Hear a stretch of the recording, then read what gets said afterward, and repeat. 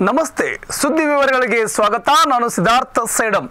Please ಇವುಗಳನ್ನ ಉಚಿತವಾಗಿ ಜನರಿಗೆ ಕೊಡಿಸಿ ಮೋದಿಜಿ ಎಂದು ನಟ ರಿಷಿ ಕಪೂರ್. ತನ್ನ ನಟನೆ ಮೂಲಕ ಕೋಟ್ಯಾಂತರ ಜನರ ಮನ ಗೆದ್ದಿರುವ ಬಾಲಿವುಡ್ ನಟ ನಿರ್ಮಾಪಕ ರಿಷಿ ಕಪೂರ್ ಈಗ ಮೂರು ಸೇವೆಗಳನ್ನ ಉಚಿತವಾಗಿ ದೇಶದ ಜನರಿಗೆ ಕೊಡಿಸಿ ಎಂದು ಸರಣಿ ಟ್ವೀಟ್ ಮಾಡಿದ್ದಾರೆ.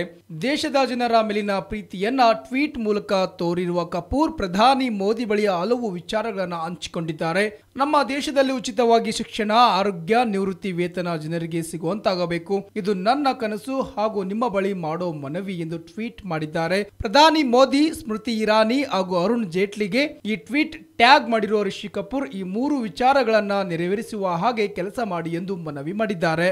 ಆಕಾಶ್ ಏರ್ ಡಿಫೆನ್ಸ್ ಮಿಸೈಲ್ ಪ್ರಯೋಗ ಯಶಸ್ವಿ ಪ್ರಾಯೋಗಿಕ ಉಡಾವಣೆ ಮಾಡಲಾಯಿತು. ಭಾರತದ ಡಿಆರ್ಡಿಒ ಸಂಸ್ಥೆಯು ಆಕಾಶ್ ಏರ್ ಡಿಫೆನ್ಸ್ ಮಿಸೈಲ್ ಅನ್ನು ಒಡಿಶಾದ ಬಾಲ್ಸೋರ್ ಕರಾವಳಿ ಪ್ರದೇಶದಲ್ಲಿ ಯಶಸ್ವಿಯಾಗಿ ಪ್ರಾಯೋಗಿಕ ಉಡಾವಣೆ ಮಾಡಿದೆ. ಇದು ಸ್ಥಳೀಯವಾಗಿಯೇ ಅಭಿವೃದ್ಧಿಪಡಿಸಿದಂತಹ ಏರ್ ಡಿಫೆನ್ಸ್ ಮಿಸೈಲ್ ಆಗಿದ್ದು, ಕಳೆದ ಮೂರು ದಿನಗಳಲ್ಲಿ ನಡೆದ ಎರಡನೇ ಯಶಸ್ವಿ ಪ್ರಾಯೋಗಿಕ ಉಡಾವಣೆಯಾಗಿದೆ. ಇಪ್ಪತ್ತೈದು ಕಿಲೋಮೀಟರ್ ವ್ಯಾಪ್ತಿಯನ್ನ ಹೊಂದಿರುವ ಆಕಾಶ್ ಹದಿನೆಂಟು ಸಾವಿರ ಕಿಲೋಮೀಟರ್ ಎತ್ತರದವರೆಗೆ ಹಾರಲಿದೆ. ನಾಗ್, ಅಗ್ನಿ, ತ್ರಿಶೂಲ್ ಮತ್ತು ಪೃಥ್ವಿ ಕ್ಷಿಪಣಿಗಳ ಬಳಿಕ integrated guided missile development programme ಬಳಸಿ ಅಭಿವೃದ್ಧಿಪಡಿಸಿದ ಮತ್ತೊಂದು ಕ್ಷಿಪಣಿ ಆಕಾಶ್. ಇದು ನಿರ್ದಿಷ್ಟ ಗುರಿಯನ್ನ ಭೇದಿಸುವ ಸಾಮರ್ಥ್ಯ ಹೊಂದಿದ್ದು, ಇದಕ್ಕಿಂತಲೂ ಹೆಚ್ಚಿನ ಸಾಮರ್ಥ್ಯವನ್ನ ಹೊಂದಿರುವ ಆಕಾಶ ಎಂಕೆ 1 ಹಾಗೂ ಆಕಾಶ ಎಂಕೆ 2 ಶಿಪ್ಪನಿಗಳನ್ನು ಅಭಿವೃದ್ಧಿಪಡಿಸಲಾಗುತ್ತದೆ now 1 0 Akash last ಅಬದೂರ್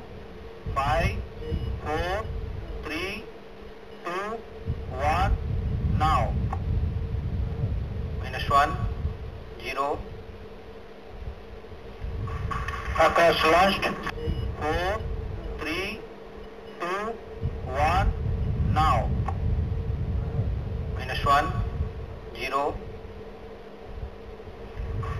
Akash launched.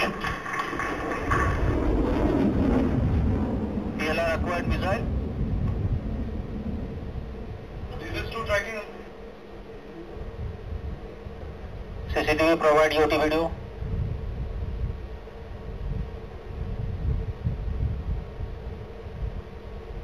ಬಸ್ಗಾಗಿ ಕಾಯ್ತಿದ್ದ ಜನರ ಮೇಲೆ ಏಕಾಏಕಿ ಚಾಕುವಿನಿಂದ ಇರಿತ ಜಪಾನ್ನ ಬಸ್ ಸ್ಟಾಪ್ ಒಂದರಲ್ಲಿ ಘಟನೆ. ಹತ್ತೊಂಬತ್ತು ಮಂದಿಗೆ ಗಾಯ, ಇಬ್ಬರ ಸಾವು. ಜಪಾನ್ನಲ್ಲಿ ಇಂದು ವ್ಯಕ್ತಿಯೊಬ್ಬ ಜನರ ಮೇಲೆ ಮನಬಂದಂತೆ ಚಾಕುವಿನಿಂದ ದಾಳಿ ಮಾಡಿರೋ ಶಾಕಿಂಗ್ ಘಟನೆ ನಡೆದಿದೆ. ಇಂದು ಬೆಳಗ್ಗೆ ಕವಾಸಾಕಿ ನಗರದ ನೊಬೋರಿತೋ ಪಾರ್ಕ್ ಬಳಿಯ ಬಸ್ ಸ್ಟಾಪ್ ಒಂದರಲ್ಲಿ ಬಸ್ಗಾಗಿ ಕಾಯ್ತಿದ್ದ ಜನರ ಮೇಲೆ ಏಕಾಏಕಿ ಚಾಕುವಿನಿಂದ ದಾಳಿ ಮಾಡಿದ್ದಾನೆ. ಬೆಳಗಿನ ಜಾವವಾಗಿದ್ದರಿಂದ ಬಸ್ ಸ್ಟಾಪ್ನಲ್ಲಿ ಜನಸಂದಣಿ ಹೆಚ್ಚಿತ್ತು. ಈ ವೇಳೆ ದುಷ್ಕರ್ಮಿ ಏಕಾಏಕಿ ಪ್ರಯಾಣಿಕರಿಗೆ ಇರಿಯಲು ಶುರು ಮಾಡಿದ್ದಾನೆ. ಘಟನೆಯಲ್ಲಿ ಓರ್ವ ವ್ಯಕ್ತಿ ಸಾವನ್ನಪ್ಪಿದ್ದಾರೆ ಎಂದು ವರದಿಯಾಗಿದೆ. ಹಾಗೆ ಹದಿಮೂರು ಮಕ್ಕಳು ಸೇರಿದಂತೆ ಹತ್ತೊಂಬತ್ತು ಜನರು ಗಾಯಗೊಂಡಿದ್ದಾರೆ. ಇನ್ನು ಆರೋಪಿಯನ್ನ ಕೂಡ ಹತ್ಯೆ ಮಾಡಲಾಗಿದೆ ಎಂದು ಪೊಲೀಸರು ತಿಳಿಸಿದ್ದಾರೆ.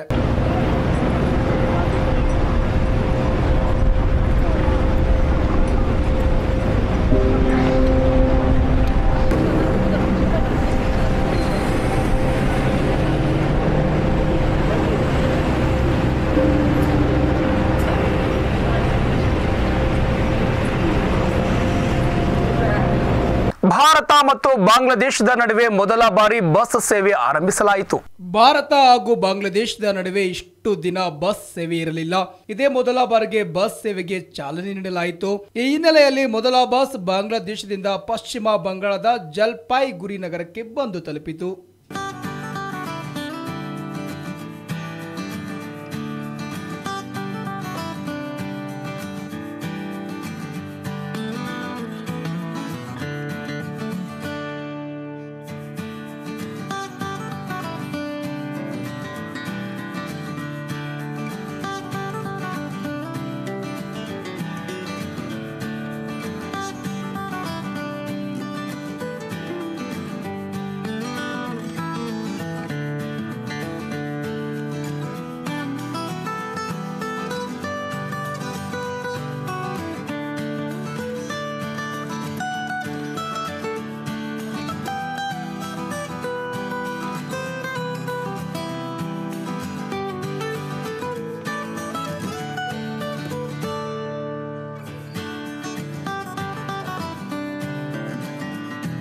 ಪಾಕಿಸ್ತಾನದಲ್ಲಿರುವ ಐತಿಹಾಸಿಕ ಗುರುನಾನಕ್ ಪ್ಯಾಲೇಸ್ ಅನ್ನ ಕಿಡಿಗೇಡಿಗಳು ಧ್ವಂಸ ಮಾಡಿದ್ದಾರೆ. ಪಾಕಿಸ್ತಾನದ ಪಂಜಾಬ್ ಪ್ರಾಂತದಲ್ಲಿರುವ ಶತಮಾನಗಳಷ್ಟು ಹಳೆಯದಾದ ಗುರುನಾನಕ್ ಪ್ಯಾಲೇಸ್ನ ಕೆಲ ಭಾಗಗಳನ್ನು ಧ್ವಂಸ ಮಾಡಲಾಗಿದೆ.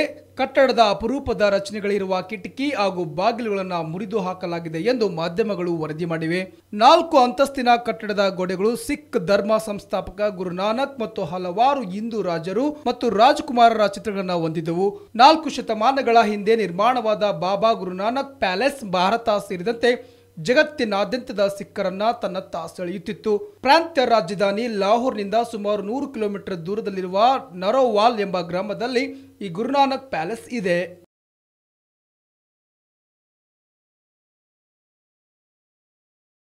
ರಾಹುಲ್ ರಾಜೀನಾಮೆ ಕಾಂಗ್ರೆಸ್ ಪಾಲಿಗೆ ನೇಣಿನ ಕುಣಿಕೆಯಾಗಲಿದೆ ಎಂದು ಲಾಲು ಪ್ರಸಾದ್ ಯಾದವ್ ಹೇಳಿದ್ದಾರೆ. ರಾಹುಲ್ ಗಾಂಧಿ ತಮ್ಮ ಹುದ್ದೆಯನ್ನ ತೊರೆಯುವ ನಿರ್ಧಾರ ಕಾಂಗ್ರೆಸ್ ಪಾಲಿಗೆ ನೇಣಿನ ಕುಣಿಕೆಯಾಗಲಿದೆ ಎಂದು ಬಿಹಾರ್ ಮಾಜಿ ಮುಖ್ಯಮಂತ್ರಿ ಆರ್ಜೆಡಿ ನಾಯಕ್ ಲಾಲು ಪ್ರಸಾದ್ ಯಾದವ್ ಹೇಳಿದ್ದಾರೆ. ರಾಹುಲ್ ಗಾಂಧಿ ಕಾಂಗ್ರೆಸ್ ಅಧ್ಯಕ್ಷ ಸ್ಥಾನ ತೊರೆಯುವ ನಿರ್ಧಾರವು ಅವರ ಪಕ್ಷಕ್ಕೆ ಮಾತ್ರ ನೇಣಿನ ಕುಣಿಕೆಯಾಗುವುದಿಲ್ಲ. ಬದಲಿಗೆ ಸಂಘ ಪರಿವಾರದ ವಿರುದ್ಧ ಹೋರಾಡುವ ಪ್ರತಿಯೊಂದು ಸಮುದಾಯ ಸಂಘಟನೆಗಳಿಗೆ ಸಹ ಇದು ಘೋರ ಆತ್ಮಹತ್ಯೆಗೆ ಸಮಾನವೆನಿಸಲಿದೆ ಎಂದು ಲಾಲು ಪ್ರಸಾದ್ ಹೇಳಿದ್ದಾರೆ. ಒಂದೊಮ್ಮೆ ರಾಹುಲ್ ಗಾಂಧಿಯ ಅಧ್ಯಕ್ಷ ಸ್ಥಾನದಿಂದಿಳಿದು ಗಾಂಧಿ ನೆಹರು ಕುಟುಂಬದ ಹೊರತಾಗಿರುವ ವ್ಯಕ್ತಿಗೆ ಅಧ್ಯಕ್ಷ ಗಾಂಧಿ ನೀಡಿದ್ದಾದರೆ ಆಗಲೂ ಹೊರ ಪ್ರಪಂಚ ಕಾಂಗ್ರೆಸ್ ಅಧ್ಯಕ್ಷರು ಗಾಂಧಿ ಕುಟುಂಬದ ಕೈಗೊಂಬೆ ಎಂದು ಹೇಳುತ್ತದೆ. ರಾಹುಲ್ಗೆ ಇದು ಗೊತ್ತಿದ್ದು ವಿರೋಧಿಗಳಿಗೆ ಏಕೆ ಇಂತಹ ಅವಕಾಶ ನೀಡಬೇಕು ಎಂದು ಪ್ರಶ್ನಿಸಿದ್ದಾರೆ. ಐಸ್ ಕ್ರೀಮ್ನಲ್ಲಿ ಮೂಡಿದ ಚಾಯ್ವಾಲಾ ಬಿಜೆಪಿ ವಿಜಯೋತ್ಸವವನ್ನ ಡಿಫ್ರೆಂಟ್ ಆಗಿ ಆಚರಿಸಿದ ಐಸ್ ಕ್ರೀಮ್ ಅಂಗಡಿ ಮಾಲೀಕ. ಎರಡ್ ಸಾವಿರದ ಹತ್ತೊಂಬತ್ತರ ಲೋಕಸಭೆ ಚುನಾವಣೆಯಲ್ಲಿ ಬಿಜೆಪಿಯಲ್ಲಿ ಭರ್ಜರಿ ಗೆಲುವು ಸಾಧಿಸಿದೆ. ಈ ಹಿನ್ನೆಲೆಯಲ್ಲಿ ಗುಜರಾತ್ನ ಸೂರತ್ನಲ್ಲಿರುವ ಐಸ್ ಕ್ರೀಮ್ ಪಾರ್ಲರ್ನಲ್ಲಿ ನರೇಂದ್ರ ಮೋದಿ ಮುಖ ಹೋಲುವ ಐಸ್ ಕ್ರೀಂ ಮಾಡಲಾಗಿದೆ. ಐಸ್ ಕ್ರೀಂ ಪಾರ್ಲರ್ ಮಾಲೀಕ ವಿವೇಕ್ ಅಜ್ಮೇರಾ ಎಂಬುವರು ಬಿಜೆಪಿ ವಿಜಯೋತ್ಸವವನ್ನ ಮೋದಿ ಸೀತಾಫಲ ಕುಲ್ಫಿ ಹೆಸರಿನ ಈ ಐಸ್ ಕ್ರೀಂ ಮಾಡಿದ್ದಾರೆ. ಆ ಮೂಲಕ ಗೆಲುವನ್ನ ಸಂಭ್ರಮಿಸಿದ್ದಾರೆ.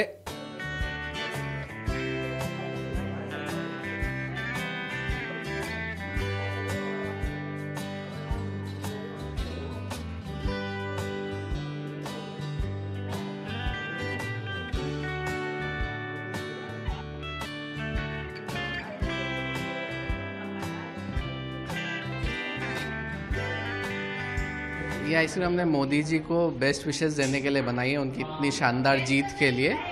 और लोगों को प्योर और नेचुरल आइसक्रीम खिलाना था तो इसलिए हमने सीताफल की आइसक्रीम बनाई है मोदी जी के शेप में। क्या नाम दिया गया है? मोदी सीताफल आइसक्रीम।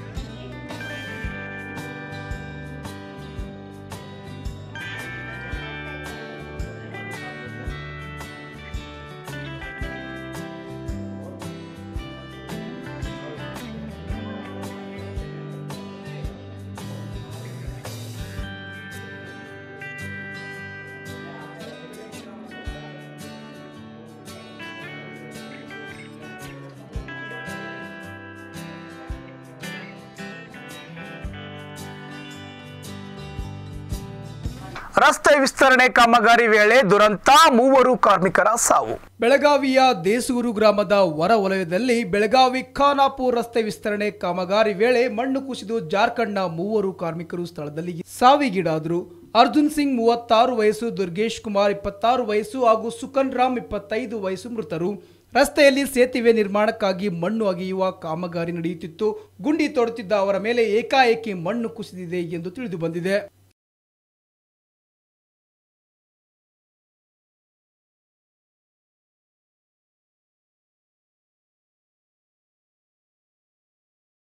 bắt ಭಕ್ತರ ಚಪ್ಪಲಿ ಕಾಯುವ ಕಾಯಕ ಯೋಗಿ ಸುಡುವ ಬಿಸಿಲಿನಲ್ಲಿ ಮಠಕ್ಕೆ ಬಂದ ಭಕ್ತರ ಬಾಯಾರಿಕೆಯನ್ನ ನಿಗಿಸುವ ಸೇವಕ. ಭಕ್ತರಿಗಾಗಿ ತಾವೇ ಖುದ್ದಾಗಿ ಶುದ್ಧ ಕುಡಿಯುವ ನೀರನ್ನು ತಂದು ಕೊಡ್ತಾರೆ. ಅಂದ ಹಾಗೆ ಆ ನಿಸ್ವಾರ್ಥ ಸೇವಕ ಯಾರು ಅಂತೀರಾ? ಈ ಸ್ಟೋರಿ ನೋಡಿ. ಹುಬ್ಬಳ್ಳಿಯ ಪ್ರಸಿದ್ಧಿ ವಿರಕ್ತ ಮಠ ಹಾಗೂ ಮೂರು ಸಾವಿರ ಮಠದ ಆವರಣದಲ್ಲಿ ಇಂಥದೊಂದು ಕಾಯಕದ ಜೊತೆ ನೀರು ದಾಸೋಹ ಮಾಡುತ್ತಿರುವ ವ್ಯಕ್ತಿಯ ಹೆಸರು ಬಾಳಣ್ಣ ತೋರ್ಗಲ್. ಮಠದ ಆವರಣದಲ್ಲಿ ಚಪ್ಪಲಿ ಸ್ಟ್ಯಾಂಡ್ ಇಟ್ಟುಕೊಂಡು ಓರ್ವ ಹಿರಿಯ ಜೀವಿ ಚಪ್ಪಲಿ ಕಾಯುವ ಕಾಯಕ ಮಾಡುತ್ತಿದ್ದಾರೆ. ಮೂರು ಸಾವಿರ ಮಠಕ್ಕೆ ದಿನವೂ ಸಾವಿರಕ್ಕೂ ಹೆಚ್ಚು ಜನ ಬರುತ್ತಾರೆ. ಅವರೆಲ್ಲ ಗುರುಸಿದ್ದೇಶ್ವರರು ಮತ್ತು ಮೂಜುಗ ಗದ್ದುಗೆಗಳ ದರ್ಶನ ಹಾಗೂ ಪೀಠಾಧಿಪತಿ ಗುರುಸಿದ್ದ ರಾಜ ಯೋಗೇಂದ್ರ ಮಹಾಸ್ವಾಮಿಗಳ ಆಶೀರ್ವಾದ ಪಡೆಯಬೇಕಿದ್ರೆ ತಾವು ಧರಿಸಿದ ಚಪ್ಪಲಿಗಳನ್ನ ಇವರ ಹತ್ತಿರವೇ ಬಿಡಬೇಕು ಹೀಗೆ ಬಂದ ಭಕ್ತರ ಜೊತೆ ಮಾತನಾಡುತ್ತಾ, ಎಲ್ಲಿಂದ ಬಂದಿರಿ ಅವರ ಅಪಾರ ಅಲ್ಲಿ ಬಿಡಬೇಡ್ರಿ ಚಪ್ಪಲಿ, ಇಲ್ಲೇ ನನ್ನ ಹತ್ರ ಬಿಡ್ರಿ ಅನ್ನುತ್ತಾ ಯೋಗಕ್ಷೇಮ ವಿಚಾರಿಸಿ, ಅಲ್ಲೇ ಕುರ್ಚಿ ಮೇಲೆ ಶುದ್ಧ ಕುಡಿಯುವ ನೀರಿನ ವ್ಯವಸ್ಥೆಯೂ ಮಾಡ್ತಾರೆ ಬಾಳಣ್ಣ. ಹೀಗೆ ಮಠಕ್ಕೆ ಬಂದ ಭಕ್ತರಿಗಾಗಿ ದಾಸೋಹ ಭವನದಲ್ಲಿ ಪ್ರಸಾದ ಕುಡಿಯುವ ನೀರಿನ ವ್ಯವಸ್ಥೆ ಇದೆ. ಹೊರಗಡೆ ಆವರಣದಲ್ಲಿ ಶುದ್ಧ ಕುಡಿಯುವ ನೀರಿನ ಘಟಕವೂ ಇದ್ರೂ ಸಹ ಅದು ಗ್ಲಾಸ್ಗಳಲ್ಲಿ ತುಂಬಬಹುದಾಗಿದೆ. ಹಾಗಾಗಿ ಎಲ್ಲರಿಗೂ ಕುಡಿಯುವ ನೀರು ಒದಗಿಸುವುದನ್ನ ಅರಿತ ಬಾಳಣ್ಣ ಎರಡು ರೂಪಾಯಿ ಕಾಯಿನ್ ಹಾಕಿ ತಾವೇ ಕ್ಯಾನ್ ತುಂಬಿಸಿಕೊಂಡು ಬಂದು ಇಡ್ತಾರೆ.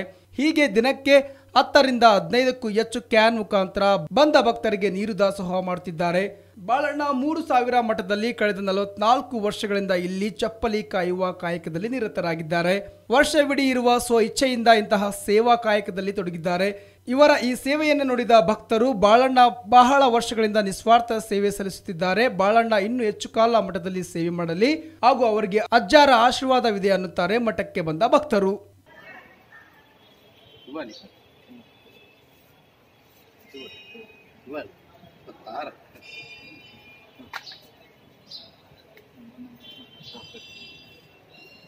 Igual. Igual. Igual. ಕೊಟ್ಟೆ ಹಂಗ ಗುಡ್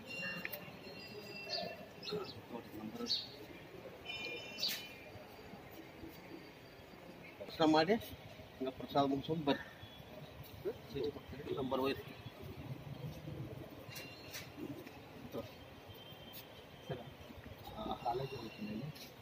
ಅದಾವಲ್ಲಿ ಕಾಲೇಜ್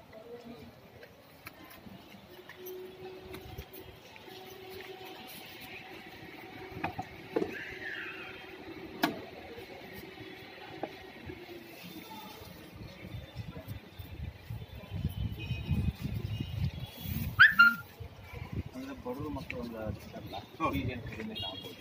ಸರ್, ಒಂದು ಮಾತು ಹೇಳಲೆ ಈಗೆಲ್ಲ ಹಾಸ್ಟೆಲ್ ಕೆಡಿವಿ ಇದನ್ ಇದನ್ನ ಮಾಡಿದಾರ. ಅದಕ್ಕೆ ಹಾಸ್ಟೆಲ್ ಕಟ್ಟೋ ಮಟ್ಟ ವಸತಿ ಮಾತ್ರ ಇಲ್ಲ. ಕಾಲೇಜ್ ಶಾಲಾ ಕಾಲೇಜ್ ಎಲ್ಲ ಅದಾವ. ವಸತಿ ಮಾತ್ರ ಹಾಸ್ಟೆಲ್ ಇಲ್ಲ. ಅದು ಕಟ್ಸಿದ ಮ್ಯಾಗ ಮುಂದೆ ಚಾಲೂ ಆಗ್ತದೆ. ಹೌದು, ಅಲ್ಲೇ ಕಾಲೇಜ್ ಕಡಿಮೆ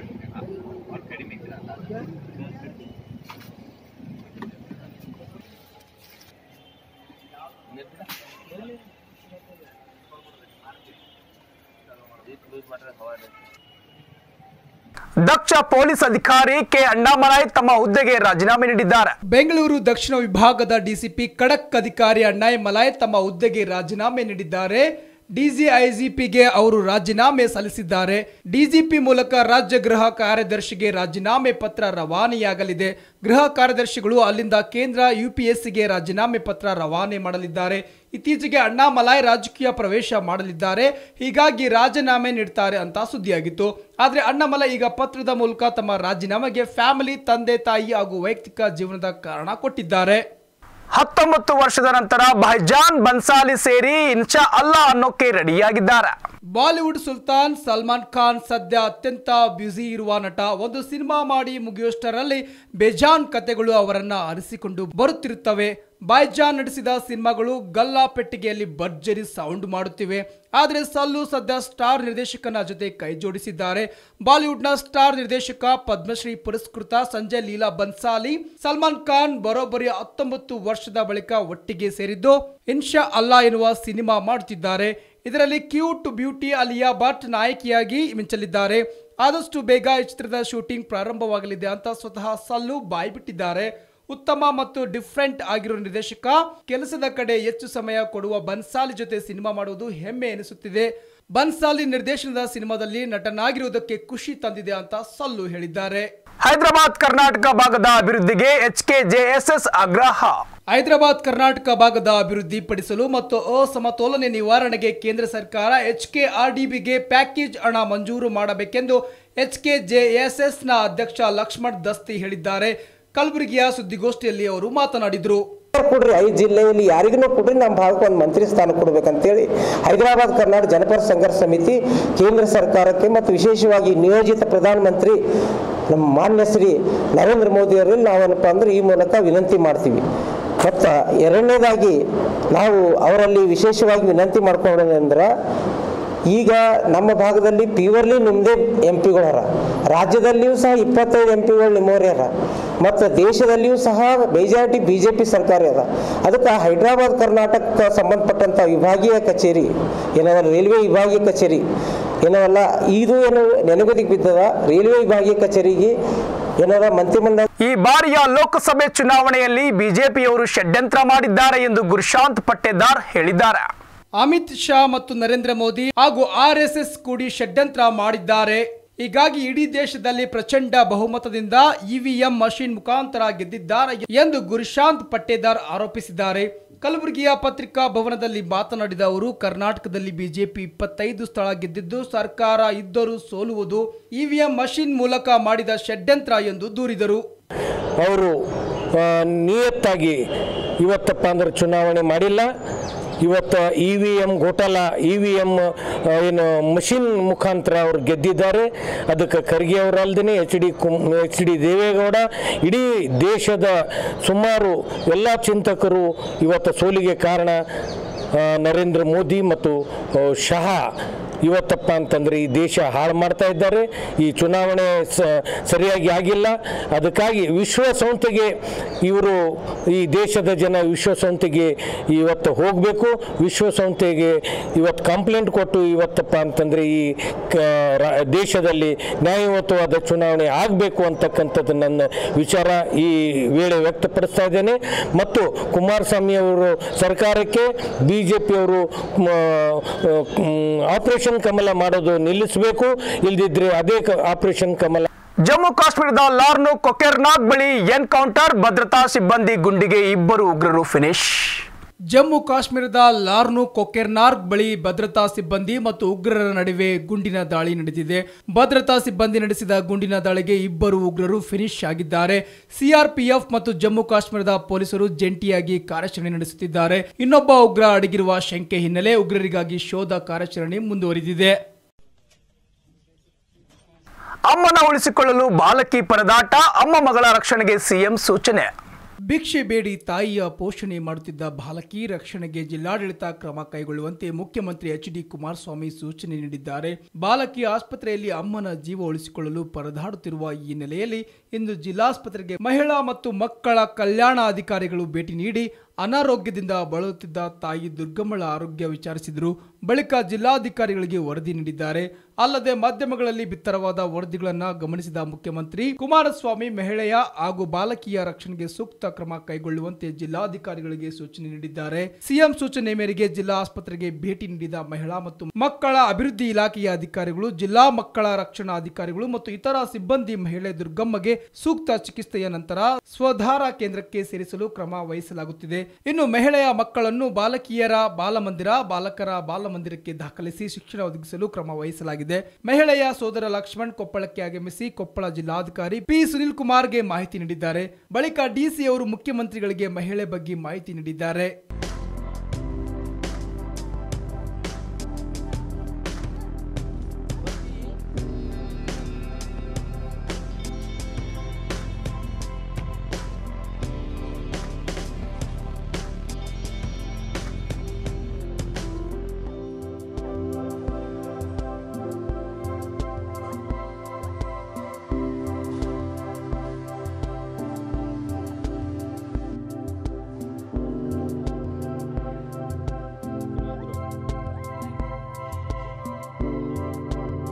ಇವಿಷ್ಟು ಈವರೆಗಿನ ಸುದ್ದಿಗಳು.